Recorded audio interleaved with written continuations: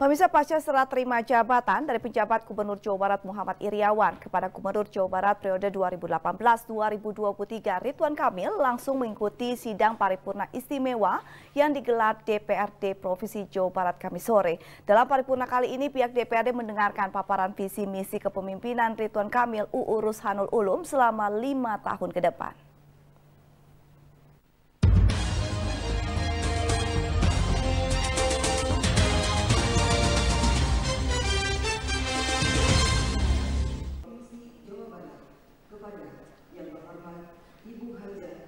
Usai serah terima jabatan, Gubernur dan Wakil Gubernur Jawa Barat periode 2018-2023, Ridwan Kamil dan UU Ruzanul Ulum, mengikuti sidang paripurna yang digelar Dewan Perwakilan Rakyat Daerah Provinsi Jawa Barat di ruang sidang DPRD, Jalan Diponegoro, Kota Bandung, Kamis sore. Sidang paripurna kali ini beragendakan mendengarkan paparan visi dan misi dari Gubernur dan Wakil Gubernur Jabar selama masa kepemimpinan lima tahun. Ridwan Kamil bersama UU Ruzanul Ulum memiliki visi Jabar juara lahir batin dengan inovasi dan kolaborasi. Sedangkan misi pasangan gubernur dan wakil gubernur ini dibagi menjadi lima. Kelima misi tersebut di antaranya membangun masyarakat yang Pancasilais, masyarakat yang berkebudayaan, mempercepat pertumbuhan dan pemerataan pembangunan, meningkatkan produktivitas dan daya saing ekonomi, serta meningkatkan pelayanan kepemimpinan yang inovatif. Kami akan mengedepankan yang namanya inovasi. Dalam lima tahun, kami ingin menyeragamkan kualitas pelayanan publik. Sekarang terjadi kejomplangan, sehingga kami ingin dari Bandung sampai Depok sampai Pangandaran standar pelayanan kepada masyarakat kita standarisasi semuanya sakitnya harus A dalam dua tahun sehingga kita bisa memastikan rakyat kita dari utara selatan barat timur terlayani dengan maksimal. Dalam visi tersebut ada nilai-nilai yang tentunya kita jadikan dasar. Kepemimpinan kami ingin menjadi kepemimpinan yang penuh dengan nilai-nilai religi.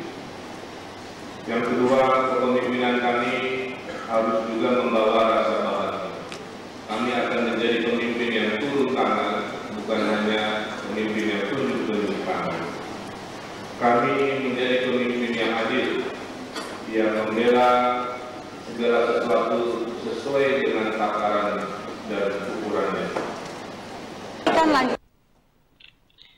Sementara itu, pimpinan sidang yaitu Ketua DPRD Jawa Barat Ine Purwadewi Sundari berharap pasangan gubernur dan wakil gubernur Jabar baru ini sesegera mungkin mengawali program kerjanya Selain itu, dirinya pun berharap agar pasangan Ridwan Kamil dan UU Ruzanul Ulum meneruskan program Jawa Barat yang belum tuntas dan bersinergi dengan seluruh anggota Dewan Provinsi Jawa Barat.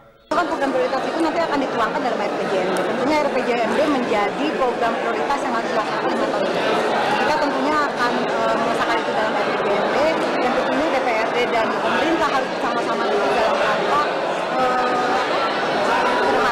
pelaksanaan terhadap uh, visi misi yang akan tertuang dalam Berarti memang untuk saat ini memang belum bisa dijalankan atau memang uh, sudah sebagian sudah ya seperti pendidikan, kesehatan, kemudian program pemberdayaan ekonomi kan ada beberapa program yang saya lihat juga menjadi bagian yang masih terus dilakukan di Jawa Barat. Karena kalau melihat peta di Jawa Barat dengan jumlah penduduk 48 beberapa hal harus dilakukan, kebutuhan pokok dasar pendidikan, kesehatan dan ekonomi itu menjadi masih menjadi hal penting di Jawa Barat. Tadi saya melihat beberapa program masih ada sinkron antara RPJ panjang, rencana pembangunan jangka panjang RPJP di pemerintah Provinsi Jawa Barat yang memang akan berakhir di tahun 2025 yang akan datang.